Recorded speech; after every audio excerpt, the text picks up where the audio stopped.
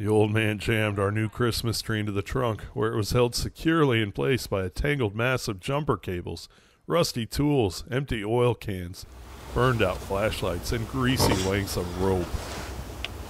Then he eased himself into the driver's seat, started the engine, and we were off, laughing all the way.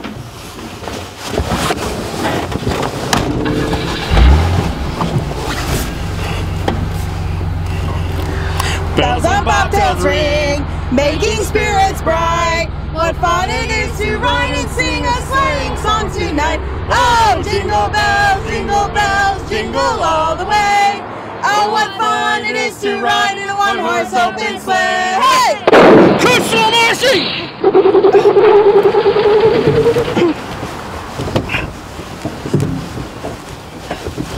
Stay on the road, you stone soaking bandit!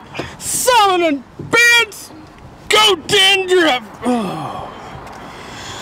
A blowout. The old hopscotch down the highway, and the old man struggled with the tiller.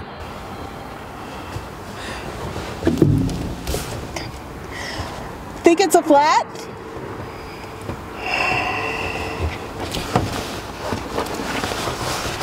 Four minutes. Time me. Behind the wheel, the old man always imagined himself driving at the Indy 500. Whenever we had a flat, he'd pull into an imaginary pit and have my mother hold a stopwatch. And time his tire changing technique. It was the old man's dream to break four minutes. I gotta go wee wee! You should have thought of that before. Ralphie, why don't you go help your father? Can I? Yes, just watch for traffic getting out of the car. It was the first time it had ever been suggested that I help my father with anything. The old man's spare tires were actually only tires in the academic sense. They were round, they'd been made of rubber, they had long ago been given extreme unction. What are you doing here? M- mom, mom said I should help. Oh. Oh, yeah. Here. Yeah. Hold this. No, n- not like that. Like like this. Hold it just like this. That way I can put the lug nuts in. For one brief moment, I saw all five of the lug nuts silhouetted against the lights of the traffic.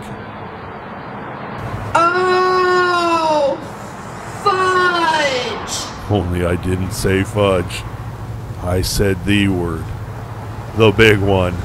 What did you say?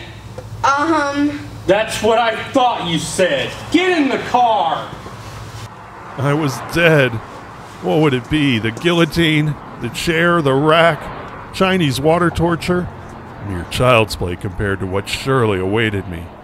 I climbed into the back seat next to my kid brother. He knew something was wrong. I knew something was wrong. My mother didn't have a clue.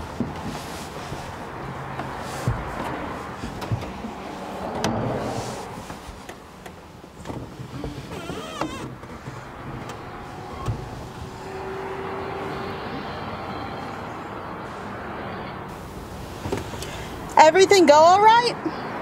Well, she'd know soon and I'd be doomed. I had done something unspeakable. I was untouchable, rotten to the core.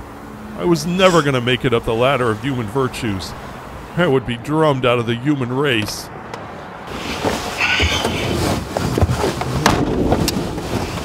Six minutes. Do you know what your son just said? No, what? I'll tell you what he said. Randy? Ralphie! We rode home in deep, complete, absolute, and total silence. I gotta go wee wee! Back home, I was subjected to punishment and inquisition.